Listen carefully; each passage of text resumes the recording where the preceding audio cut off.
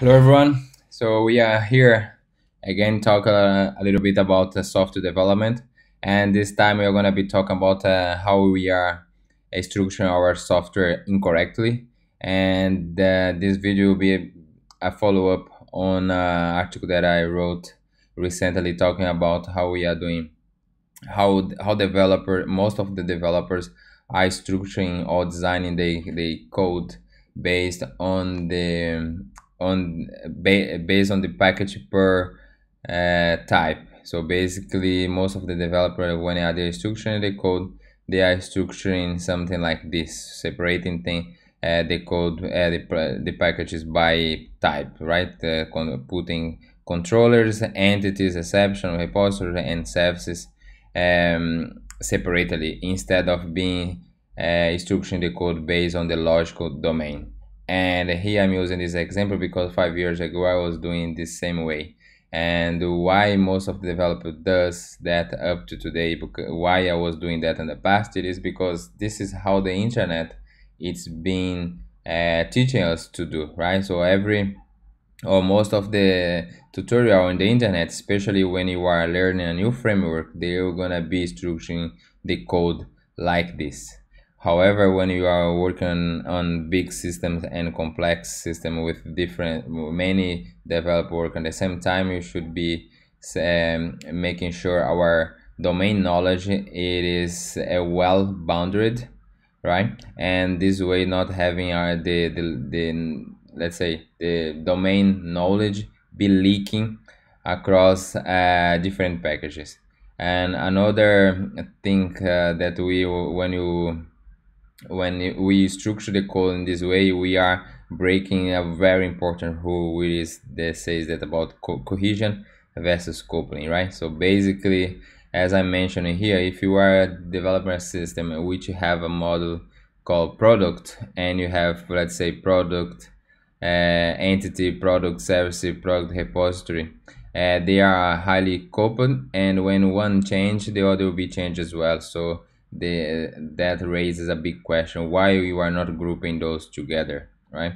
And um, so in the other example here we have um, we get instead we are uh, let's say organizing the code uh, on the on, on the package per type they will be having like something like this product repository basket repository but they don't have anything in common. So and the question comes again say why you are um, grouping them together if there is nothing to do each other just uh, this because the type right? And um, this uh, leads for a big uh, uh mud right? And this brings a lot of coupling. And here you can see very clear what I was talking about. When you are not separating your code by domain logic specific, you are adding a lot of uh, let's say interconnection between uh, packages or let's say domains, and we don't have clearly boundaries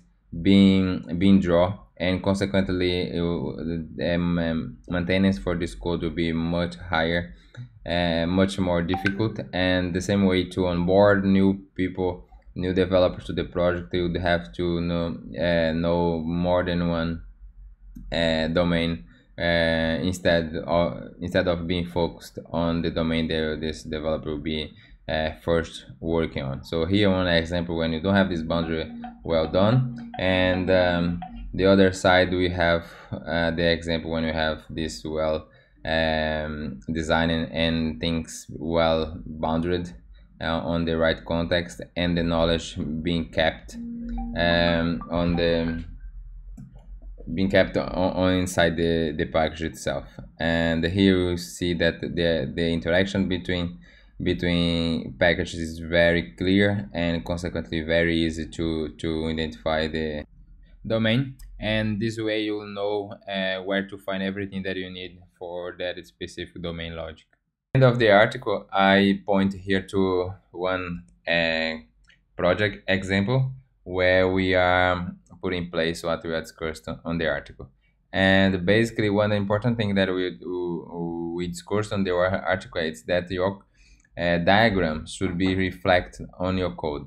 And here on this project, which it is a trading system, uh, we have uh, three main models which it is feed where it comes the signal to buy or sell and the price per second and then you have another model is called forex with a bunch of other uh, components and then we have a runner which will be exposing the um, let's say the stats of the the, the system that's being uh, running. Uh, when we look at the code itself we can see that we can immediately uh, map what is on the um, diagram to our system. So we have three uh, models here the feed the forex the runner and you have a common one here which will be uh, used across the the tree and then when you look at inside the project the model itself we can also map uh, a component price and signal as we have here. And uh, we can see that inside the domain this right but you can also see that you have the api uh, component here which it is which it is help us to enforce this boundary right? Because um, as we uh, spoke on the cohesion cohesion and coupling side we want to be have one single um, entry to that model right? And in java we have these new uh, models uh, which we export what can be accessed from other models. So for example this feed model is being used in the forex and but through forex the only um, component that will access it is what is public let's say what is exported right? And looking at the forex we can also see the same structure. We have the api uh, with everything that will be public to be accessed outside of this model.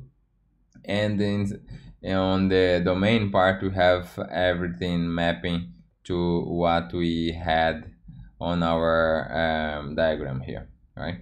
And uh, important to look that every component would contain one public interface which it is the entry point to that um, we can call entry point for the package or to the that uh, domain logic or you can also say that it would be mapping containing the um, functional methods for that component. So everything would be accessed through this interface.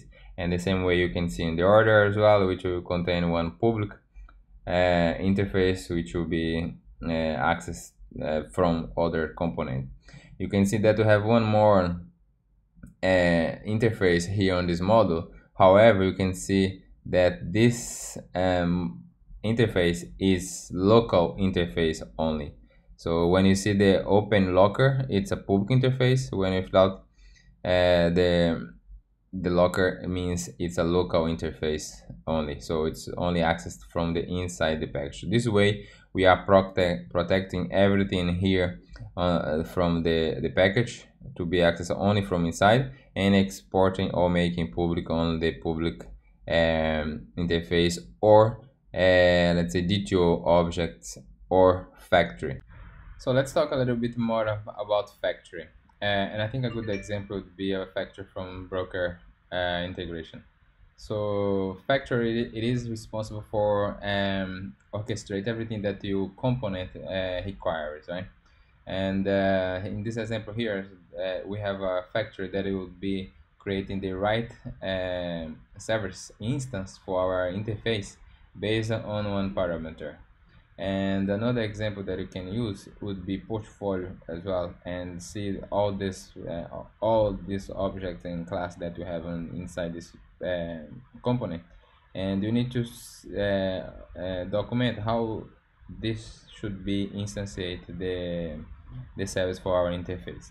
And if you see here uh, we require uh, some dependence so in, in order broken integration and risk management and event notifier and uh, but before instantiate our main uh, implementation for our service we also uh, um, instantiate our portfolio checker which is a, a, object from inside our component. So that means uh, it's only part of this component. And let's see how we call different uh, uh, factors for different components and how they um, all uh, work together to to let's say to to build our system. So um, in our portfolio here so we have our main uh, let's say startup would be basically the main uh, module uh, startup let's say right? It's, it's called a trading session. And when we start we are calling different uh, factors for for instance it's signal for instance it's broker integration for booking uh, order book uh, factory and risk and pass different parameters and here for the order and everything work together to build all our um, services right? Or, or build our uh, components of our system. And this probably most of you guys who work with spring and we don't have we you might not be very familiar with factory uh, on this way because uh, spring does that for us with the annotation right? But in the end of the day what is happening there you are using a spring factor to build up your uh, your application and to build up your components. But um, it's very simple. Don't need spring for those things and uh, actually i think uh, um, spring it's a big overhead if you are not using uh, much things there. If you are only interested on the dependency injection of, of spring. So that's pretty easy to achieve with that spring. You just need to uh, uh, structure your code properly and has all those um, creator uh, well uh, defined inside the, the components. And um, everything would be working pretty pretty easy and it will be pretty uh, let's say uh, clear what is going on and rather than spring that there's uh, a lot of magic uh, behind the scene.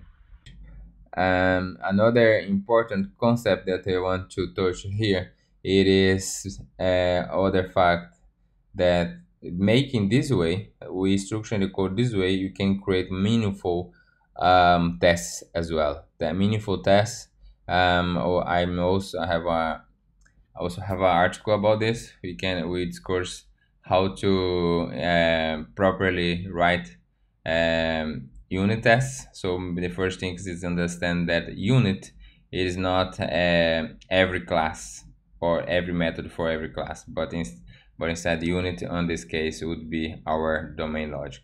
And the, the best way to write um, meaningful and let's say uh, Uh, write tests that cover their the logic the functional of the component. It is instruction this way and write tests to test your component through the, the interface. What i'm trying to say with this is for example let's take order and we have we should you have to follow this pattern let's say saying order domain should. And this way we will be saying what this uh, order domain should be doing and if you navigate through here to the the tests that we are writing we are testing uh, functional uh, functional uh, let's say uh, functions from this domain. For example, we, the order domain should create order from signal event, should, uh, taken from what we have named here, should create order from closed position, should create order from closed position, and, and so on and so forth. So you'll be writing uh, unit tests to test the comp the whole component itself and be mocking only what is external to the system. Uh, so for one example that we we use um i think we mock let me just see here i think we uh, the, this should and here for example we are mocking risk management because portfolio uh, portfolio package uh, use risk as part of the of the it implementation. And uh, we only mock that dependence that outside let's say we only we only mock what it's outside of your component that you're testing and checking that it's being called properly. Um, this is will help in tests as well and another concept the important concept that probably will be seen um, when you are studying about uh, clean architecture it would be the hexagonal or ports um, concept, right? And we uh, have applied it here when you are talking about the different models. So for example, when if you look at the our structure, you can see that you have the whole model called feed, but you also have feed as a package inside our local because uh, this is where we are being interacting with the external um, with the external let's say dependence. On this case here it's external model. But we later could just make this model a microservice for example a microservice and uh, only here you'd be changing the how you'll be consuming that and the rest of the system you would be you would, you would not need any change because the rest of the system is uh, relying on the signal uh, interface rather than the implementation. Doesn't matter how the implementation comes so to illustrate this let's have just a look here. The whole system is dependent on this feed uh, service. And when you are uh, let's say in, in injecting this dependency we are injecting this uh, trading feed here which will um, let's say wrapping our feed model that it, that it's external to our system. This is a, a it's very important concept as well to have when you are uh, depending on an external system uh, and uh, in order to protect your domain from uh, external implementation so i think that's covered everything that i would like to show you guys. So please um, go into this this project and I'll put on the description. And if, from here you're gonna learn a lot of concept. And that's a very um, uh, let's say complete uh, project with this is um, uh, making we have implemented as well the um, uh, continuous integration with git uh, hub actions and you are performing some some tests uh, look at the coverage look at the maintainability and also generating packaging um, for every push that we I send to, to the project. So it's a very interesting process and I suggest you guys to have a look and learn from it. Thank you very much